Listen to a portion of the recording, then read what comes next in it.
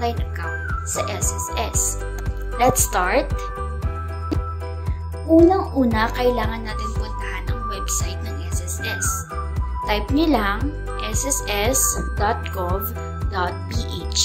Kung meron ka ng SSS online account, just put your user ID and password and hit login. Pero kung wala pa, click mo lang yung not registered in my.sss.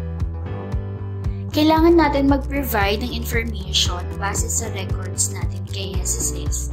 Way nila to para ma-verify na yung gumagawa ng account ay yung mismo owner. Don't worry, meron kang mga pagpipilian. Unang-una, savings account number, mobile number, kung nakapagpalit ka na ng number before, malalaman mo ito pa rin yung nakaregister sa SSS kung nakaka-receive ka ng text message tuwing posted yung mga contributions mo sa kanila. Then, yung UMID card, employer ID number, and lastly, yung payment reference number. Sa ipapakita ko sa inyo, pipiliin ko yung employer ID number. To proceed with the registration, kailangan natin sagutan yung mga tanong dito. Unang-una, yung CRN or SS number.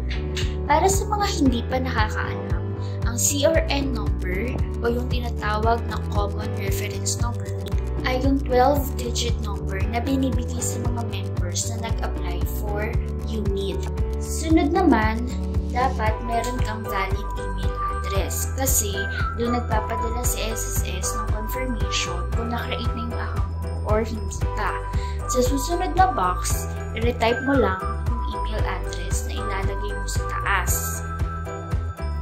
Then, we proceed with the user ID.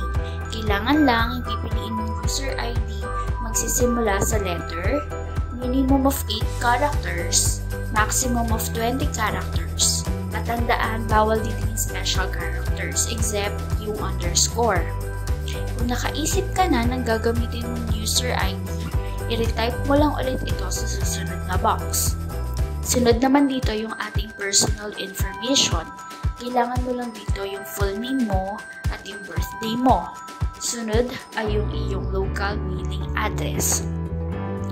Bago tayo makarating sa code, kailangan natin ilagay dito yung employer ID number dahil ito yung pinili natin kanina. Tapos, enter mo yung code na nakikita mo sa box.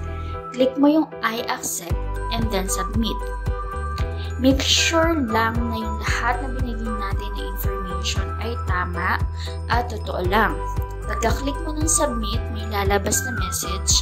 This action will send the supplied information to SSS. Do you want to continue? Click mo lang yung OK.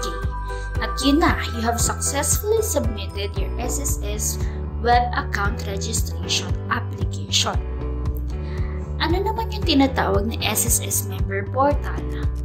Basically, same lang sila ng website na pinuntahan natin kanina.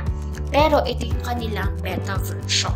Mas enhanced, mas madali i-navigate, pero yung mga information na kailangan natin kanina, yun lang din yung information na kailangan natin kung dito tayo gagawa ng account. Yun yung dalawang website kung saan ka pwedeng mag-register. Meron din silang mobile app na sobrang dali gamitin. Pero kung mag-register ka ng account, i-redirect ka lang din ni app sa kanilang official websites. Sa email address mo, makakatanggap ka ng message galing sa SSS kung ano yung status ng online registration mo. Kung successful na yung pag-register mo, makakatanggap ka ng ganitong message. Ngayon, kung meron ka ng SSS online account, mag-download ka na ng kanilang SSS mobile application kasi mas madali itong gamitin. Yun lang, sana na pa nakatulong ako sa inyo today mga ka-family. Bye-bye!